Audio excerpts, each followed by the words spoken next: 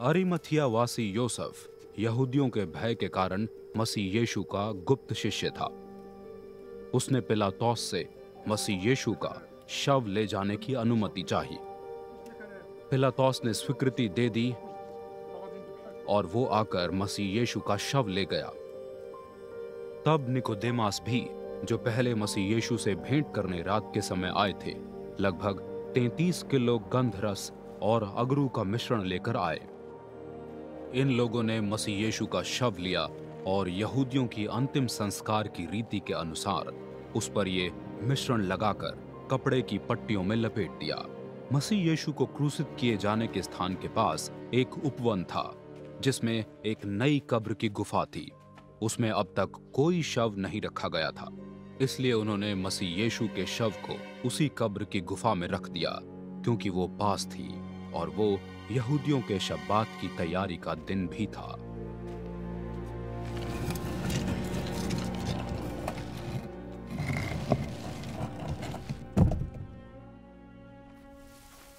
सप्ताह के पहले दिन सूर्योदय के पूर्व जब अंधेरा ही था, मगदालावासी मरियम कंदरा कब्र पर आई और उन्होंने देखा कि कब्र के प्रवेश द्वार से पत्थर पहले ही हटा हुआ है। सो वो दौड़ती हुई शिमोन पत्रस और उस शिष्य के पास गई, जो मसीह यीशु का प्रियजन था, और उनसे कहा, वे प्रभु को कब्र में से उठा ले गए हैं, और हम नहीं जानते कि उन्होंने उन्हें कहाँ रखा है।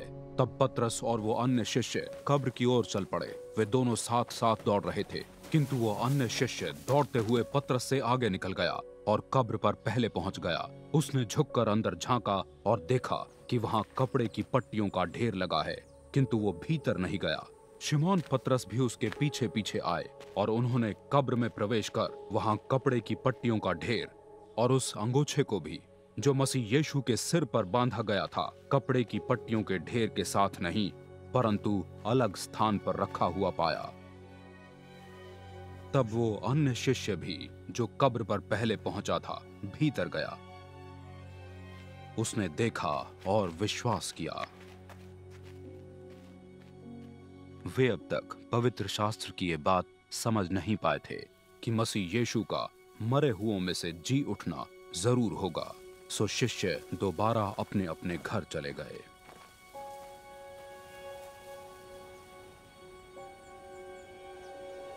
परंतु मरियम कब्र की गुफा के बाहर खड़ी रो रही थी। उन्होंने रोते रोते झुककर कब्र की गुफा के अंदर झांका।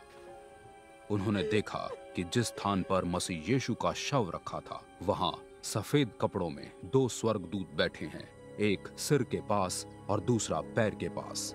उन्होंने उनसे पूछा, तुम क्यों रो रही हो? उन्होंने उत्तर दिया, वे मेरे प्रभु को यहाँ से ले गए हैं और मैं नहीं जानती कि उन्होंने उन्हें कहाँ रखा है।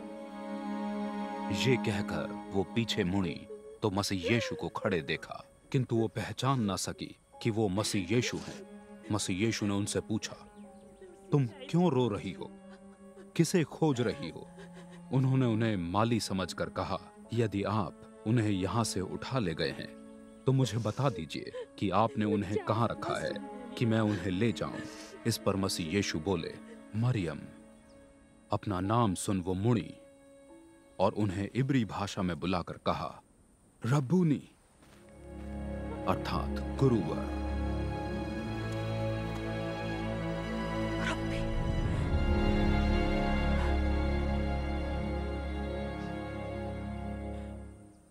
मसीह यीशु ने उनसे कहा, मुझे मत छुओ, क्योंकि मैं अब तक पिता के पास ऊपर नहीं गया हूँ। किंतु मेरे भाइयों को जाकर सूचित कर दो। मैं अपने पिता और तुम्हारे पिता तथा अपने परमेश्वर और तुम्हारे परमेश्वर के पास ऊपर जा रहा हूँ।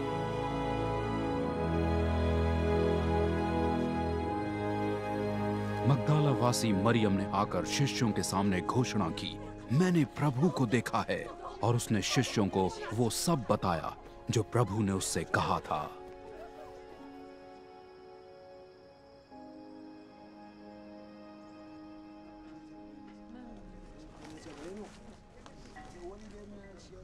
उसी दिन, जो सप्ताह का पहला दिन था, संध्या समय यहूदियों से भयभीत शिष्य द्वार बंद किए हुए कमरे में इकट्ठा थे।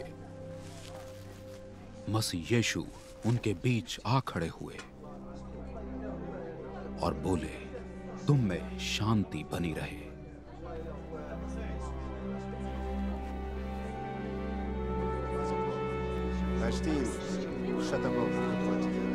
ये कहकर उन्होंने अपने हाथ और पाँव दिखाए। प्रभु को देखकर शिष्य आनंद से भर गए।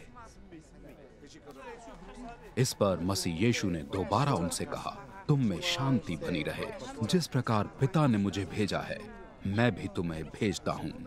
तब उन्होंने उन पर फूका और उनसे कहा, पवित्र आत्मा, ग्रहण करो।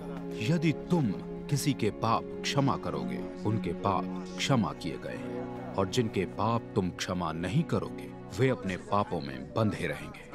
जब मसीह यीशु अपने शिष्यों के पास आए थे, उस समय उनके बारह शिष्यों में से एक शिष्य, थोमास, जिनका उपनाम दिदुमास था, वहाँ नहीं थे। अन्य शिष्य उनसे कहते रहे, हमने प्रभु को देखा है। इस पर थोमास उनसे बोले, जब तक मैं उनके हाथों में कीलों के वे चिन्ह न देख लूँ और कीलों से छिदे उन हाथों में अपनी उंगली और उनकी पसली में अपना हाथ डालकर न देख लूँ, तब तक मैं विश्वास कर ही नहीं सकता। आठ दिन के बाद मसीह यीशु के शिष्य दोबारा उस कक्ष में इकट्ठा थे और इस समय थोमास उनके साथ थे। सारे द्वार बंद होने पर भी मसीह यीशु उनके बीच आ खड़े हुए और उनसे कहा, तुम में शांति बनी रहे।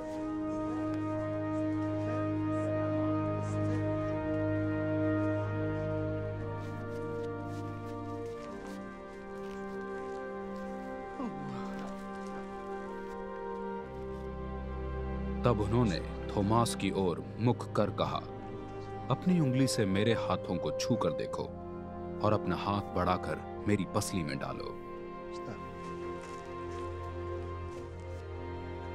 अविश्वासी न रहकर विश्वासी बनो। थोमास बोल उठे, मेरे प्रभु, मेरे परमेश्वर। मसीह यीशु ने उनसे कहा, तुमने तो विश्वास इसलिए किया है कि तुमने मुझे देख लिया धन्य हैं वे, जिन्होंने मुझे नहीं देखा, फिर भी विश्वास किया।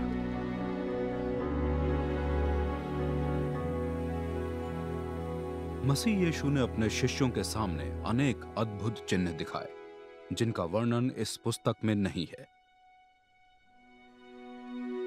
परंतु ये जो लिखे गए हैं, इसलिए कि तुम विश्वास करो कि यीशु ही वो मसीह है, वही परमेश्वर के पुत्र हैं।